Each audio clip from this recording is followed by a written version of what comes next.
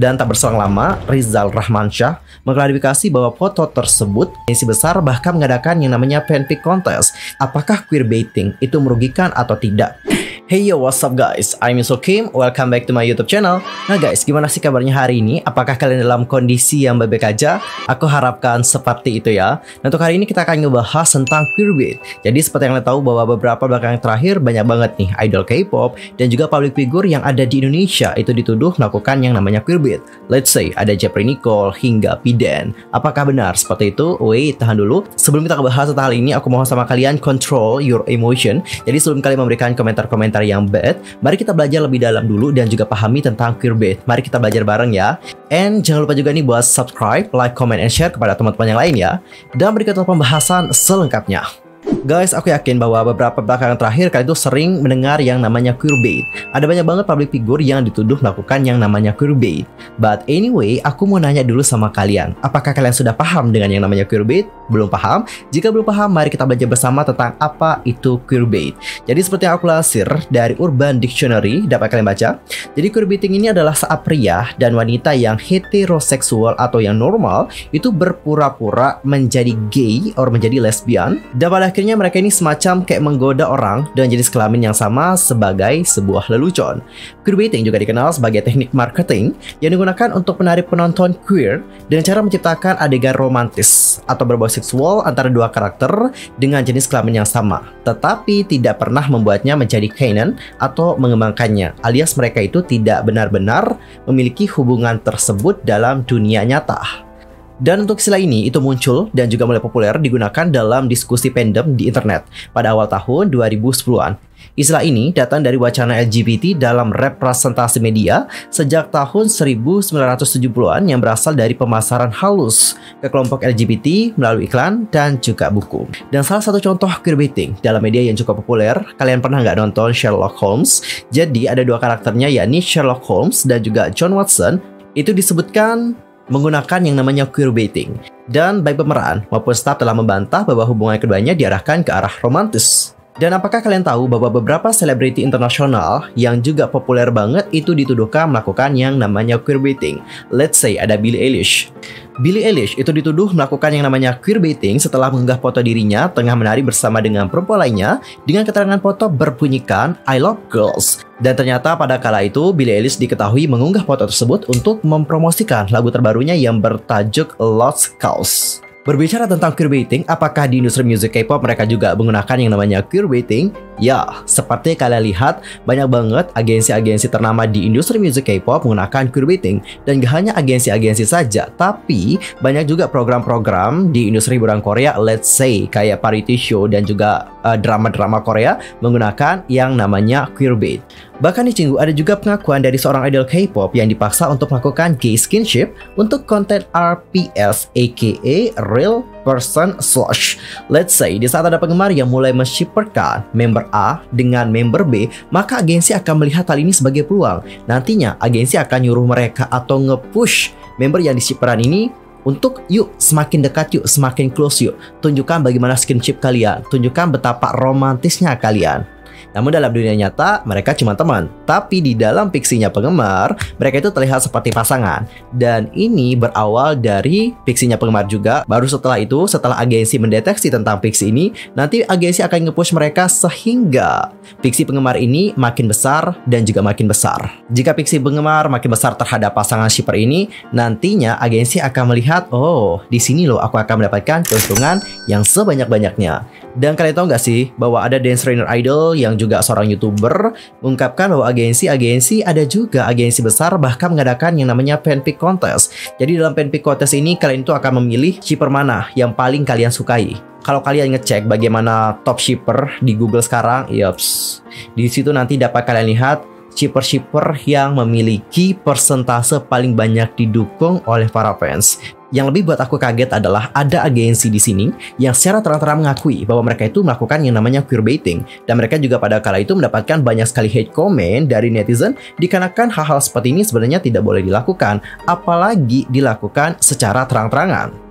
Agensi yang aku maksudkan di sini adalah AJ Music Entertainment. Jadi mereka itu melakukan queerbait melalui girl group terbaru mereka yang bernama Codes. Menurut AJ Entertainment, Queerco telah menjadi sumber isinya sendiri di industri musik K-pop. Perwakilan tersebut juga menyatakan bahwa fanfiction yang ditulis tentang hubungan sesama jenis antara idol selalu menjadi salah satu cara utama penggemar mengkonsumsi budaya idol. Bahkan ketika diskusi tentang gender dan seksualitas kurang didefinisikan dengan jelas daripada saat ini. Lalu, apakah queerbaiting ini hanya ada di industri musik K-pop atau di industri hiburan Korea saja?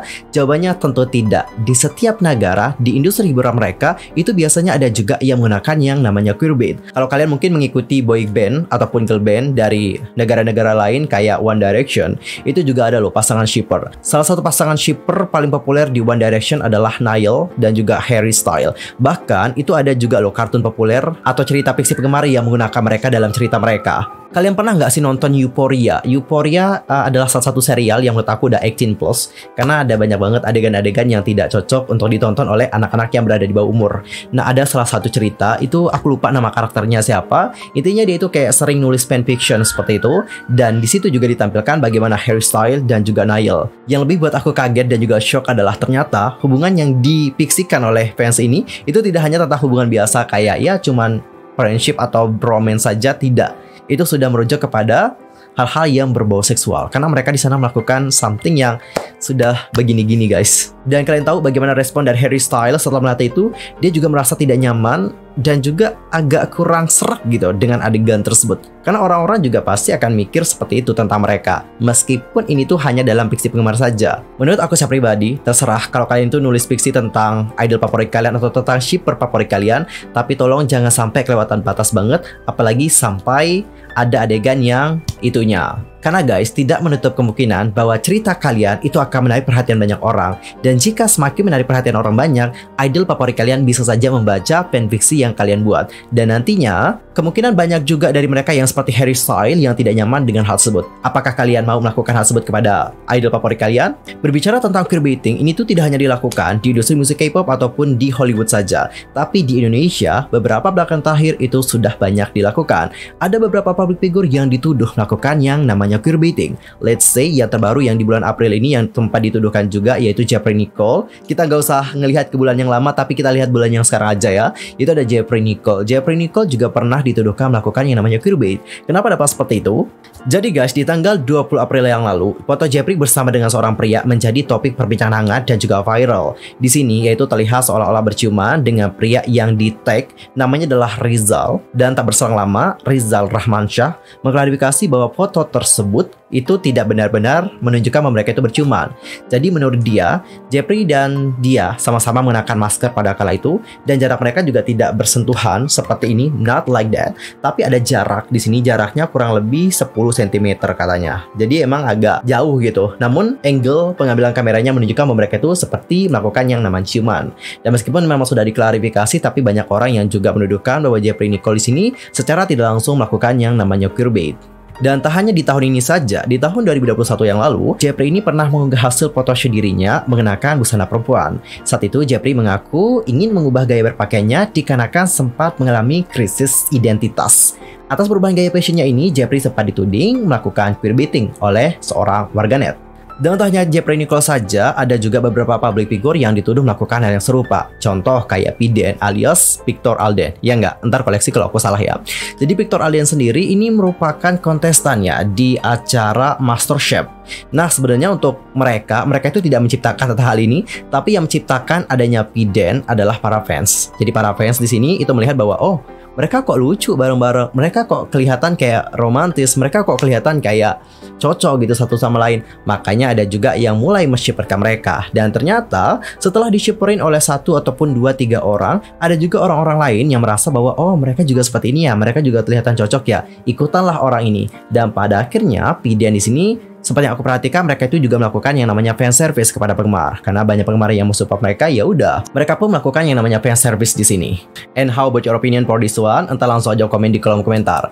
Nah guys, ini adalah saran dari aku. Kalau kalian mau ikutin juga terserah. Kalau kalian nggak mau ikutin juga nggak apa-apa. Kalian pernah nggak sih nonton bagaimana serial Girls from Nowhere? Pernah nggak? Di sana ada salah satu episode, episode yang menunjukkan betapa bahayanya dunia shipper menshipperkan Jadi, di saat Nano ini dijodohkan atau dishipperkan dengan seorang vlogger, dapat kita bisa bilang seperti itu ya. Vlogger ini juga pada awalnya nggak terlalu populer gitu. Namun setelah dishipperkan bersama dengan Nano atau banyak yang mengidolakan pasangan Nano dengan vlogger ini, dia nanti akan naik popularitasnya. Pokoknya menjadi populer banget. Namun lama-kelamaan dia juga merasa bosan dengan hal tersebut karena ternyata dia ini punya pacar di dunia nyata dan dia juga ingin mengakhiri hubungannya dengan Nano. Namun penggemar yang sudah terlalu sangat menjodohkan mereka ini tidak ingin mereka itu berpisah dan pada akhirnya penggemar ini menuntut cowok ini akan hidup bersama dengan Nano selama-lamanya dan juga menjaga Nano.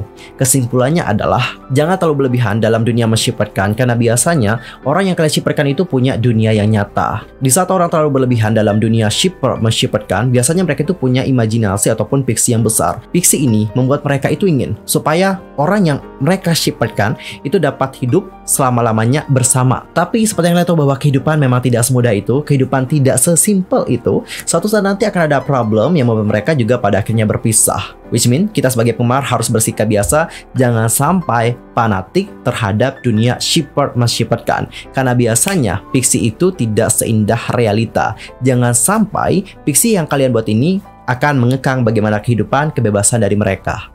Karena setiap manusia itu memiliki kebebasan juga guys. Dan masih berbicara tentang queerbaiting yang ada di Indonesia, ada juga salah satu tiktokers yang menurut aku di sini melakukan queerbaiting secara terang-terangan. Nah kalau Piden kan bukan membela atau gimana ya, tapi mereka itu benar-benar diciptakan oleh fans. Oke, fans yang menciptakan mereka di sini, bukan mereka yang menciptakan fiksi tersebut, tapi fans lah yang menciptakannya. Nah, kalau untuk yang satu ini atau TikTokers yang satu ini bukan mau menyalahkan atau bagaimana, dia itu seperti menciptakan queerbaiting secara terang-terangan. Meskipun ini juga kita semua tahu bahwa ini tuh cuman konten doang, tapi secara tidak langsung menurut aku dia itu sudah melakukan yang namanya queerbaiting. Nah kita semua tahu siapa tiktokers yang dimaksudkan. Yup, siapa lagi kalau bukan Popo. Jadi Popo bersama dengan salah satu tiktokers, I don't know, namanya siapa aku lupa. Jadi kemarin dia itu membuat konten seperti dia ini melakukan yang namanya pernikahan. Seperti yang kita semua tahu bahwa meskipun Popo itu cosplay menjadi seorang wanita, tapi dia kan pada aslinya adalah seorang pria. Dan saat dia melakukan yang namanya konten pernikahan dengan TikToker tersebut, banyak orang menganggap bahwa ini tuh tidak benar gitu. Dan pada akhirnya Popo juga mengklarifikasi bahwa itu cuma buat konten doang. Dan mereka juga benar-benar tidak menikah dalam dunia nyata. Namun balik lagi, apa yang dilakukan oleh Popo ini juga dapat dikategorikan sebagai queer baiting. Nah, buat yang nanya, apakah queer baiting itu merugikan atau tidak? Itu sebenarnya kembali lagi pada opini dari setiap orang atau perspektif dari orang-orang. Karena setiap orang itu memiliki perspektif yang berbeda-beda. Sekarang aku menanya sama kalian, apakah menurut kalian queerbaiting itu merugikan? Entar langsung aja komen di kolom komentar. Nah guys, sekian aja untuk hari ini. I'm Yusuf Kim pamit. Aku mohon maaf kalau ada kesalahan baik dalam ucapan, sikap, tindakan dan sebagainya. I'm sorry banget. Di sini tidak ada niat tadi untuk menjatuhkan atau bagaimana, tapi di sini niatnya memang untuk belajar bersama. Terserah bagaimana kalian menanggapinya, tapi aku harap kalian juga dapat memahami apa yang aku sampaikan dalam video kali ini. See you next time. Annyeong, 감사합니다. Goodbye.